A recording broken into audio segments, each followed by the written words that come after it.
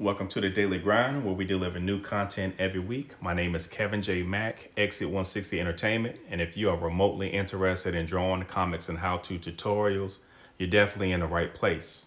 For today's episode, I'm going to show you guys my process for designing a logo from start to finish, so stay tuned.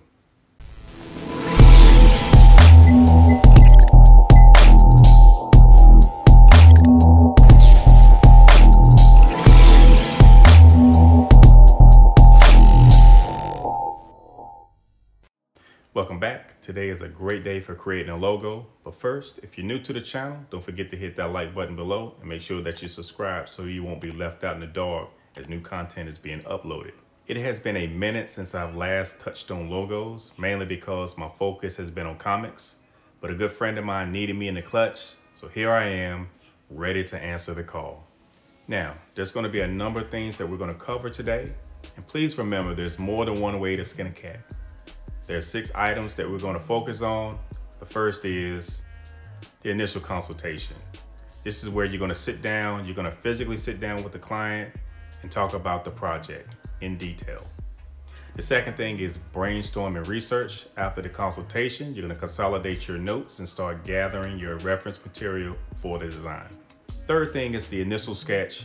Don't think, just get those initial ideas down on paper, or if you prefer digital like I do, get that stuff down on the canvas. The fourth thing is refinement. All right, so you're gonna get your design as clean as you possibly can. Understand there's never a perfect, there's never a perfect design, but you wanna get it as close to perfect as you possibly can prior to going to the client. The fifth thing is time to send that logo to the client. All right, so at this point, you wanna package up the design and what I like to do is I like to provide a few brief comments about some of the things that I've done while working on the design. The last thing is the uh, revise and finalization of the design. Okay, so at this point you sent the design off to the client based on the feedback. All right, once it comes back, you're gonna take the take that feedback and you're gonna make the necessary changes and then put a bow on it. All right, so first things first. Very first thing that you need to do is to have a sit down consultation with your client, or in this case, my friend, and ask the question, what do you have in mind with regards to the logo? Now, if you haven't seen my previous video on the five things you as a owner should consider prior to approaching a graphic artist about a logo, make sure you check it out. Link is in the description below. Now, at this point, you want to get a better understanding of who you are designing for and any background information that you can receive from or about the company. You're definitely in data collection mode because you are trying to get a feel about the type of products, the services, and overall, what are they trying to achieve through the logo design process. Now, after the consultation, this is what I was able to learn. The logo is gonna be for a service member in the military. So we are looking to design a military logo. Uh, from time to time, people reach out uh, for logos for souvenirs that they're gonna have at a military ball, uh, designs uh, for a guidon, or even tattoos. However, me personally, when I'm being asked about tattoo designs, which is often, I tend to be a bit cautious because I'm a graphic designer, not a tattoo artist. How we process projects, how we go about thinking about going about those projects can be a little different at times. With that, for the tattoo artist, it could be a bit awkward being given a design from another artist's original work. Best practice is give the tattoo artist the design and allow them to make it their own design. It's okay to come in with the foundation, but I'll leave that for another video. So getting back to the logo. Um, so you wanna make sure that the logo is both suitable and acceptable. So now that you have a better understanding of who you are designing for, it's time to do some research. All right, so we are looking at a military thing as I hop on my uh, computer and start pulling reference material from a simple Google search. And there are a number of other search engines out there that you can use as well, like Pinterest, uh, Envato, Adobe Stock Photo to start pulling reference material from. Uh, you already have an idea of what you are looking for, but the kicker is during the initial consultation, don't underestimate the power of casual conversation with the client because there may be key things or other elements that they may touch on that you can use later for the design. Since it is a military theme, I needed to see the current unit insignia. Um, the logo is going to be based off of the 160th. Uh, we have the soar wings uh, with the sword. Uh, the theme Night Stalkers Don't Quit. NSDQ, Special Operations, which will be key components of the design. Now we also have the regimental crest, winged centaur with the crescent moon. Colors seem to be uh, red, which is in the sword, some gray, blue, and yellow that will make up the rest of the color palette. Now I can't say it enough. You want to make your conversation with the client as comfortable as possible. The more comfortable the client is, the more willingly they are um, going to open up to you. Um, now, from the discussion that I had with the client, I found out that he was a huge, talking a huge Game of Thrones and Punisher fan. With that knowledge, uh, for the sword, I was thinking I could use um, some of the references from uh, Game of Thrones. Uh, here we have Arya Stark with Needle. Of course, we gotta have some Valyrian steel, right? We have Heartsbane, Widow, Widow's Wail. I'm glad this guy got the axe uh, long claw, and to top it off, we have some dragon glass, uh, a dragon glass sword from um, Beric Dondarrion. So we're gonna incorporate some of these some of these elements into the into the logo. Can't wait to can't wait to see the final product. All right, so once I'm done with my research, it's time to hop onto the Cintiq, and this is where the magic happens. Nowadays, I work more than 95% digitally using Clip Studio Paint. Uh, if I am on the road, I usually carry my trusty iPad Pro, but this is the time where I'm going to get all of my initial sketches down, just getting ideas down without even thinking about it. Sometimes it is bound to come together or in many cases, uh, start to bring out other ideals. So at this point, we're just trying to um, jot down as many initial thoughts, ideas, and a little bit of word association to kind of get those uh, creative juices flowing uh, as we try to get as many thumbnails down onto the canvas. It is very important to remember that we are in the rough stage. We're just simply laying down the foundation. All right, so what you're gonna try to do is try to explore as many different options as you possibly can uh, the idea isn't to be perfect, but to keep that pencil, got to keep that stylus moving and free as much as possible. Try to generate as many different ideas as you possibly can. I know sometimes it can be a little pressure trying to create these perfect refined sketches that have these beautiful colors that have been rendered out, much like what you will see on any other social media platform, whether it be Facebook or IG. Um, but by and large, that's exactly what they are. They're refined, final rendered sketches that have morphed from the type of initial ideas, sketches that we're doing right now. So don't be too hard on yourself and listen, I understand. Um, sometimes I have to remind myself that I can't beat myself up, that I got to keep on uh, chipping away and uh, everything else will take care of itself. Okay, so now that we have a few options, now you want to start incorporating your process of elimination. Uh, we are going to be choosing one design and start refining the line work. All right, so I think uh, I'm going to go with this one. So let's get her done.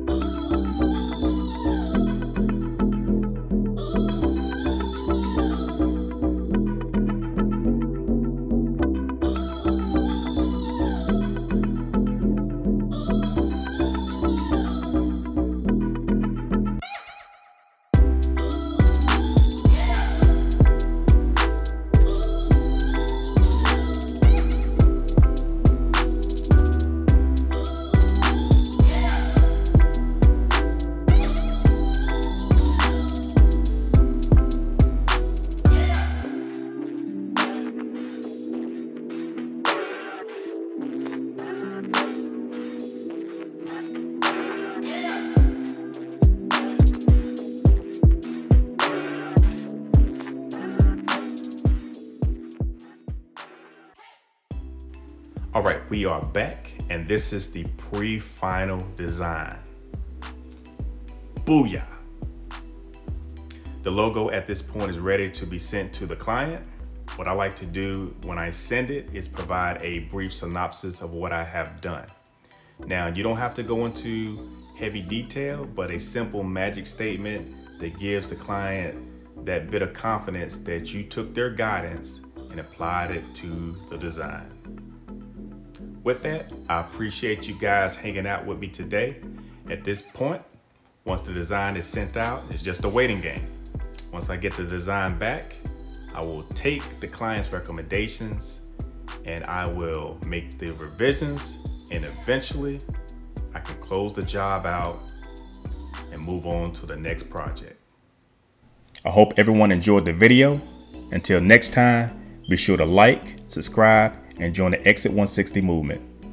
Peace.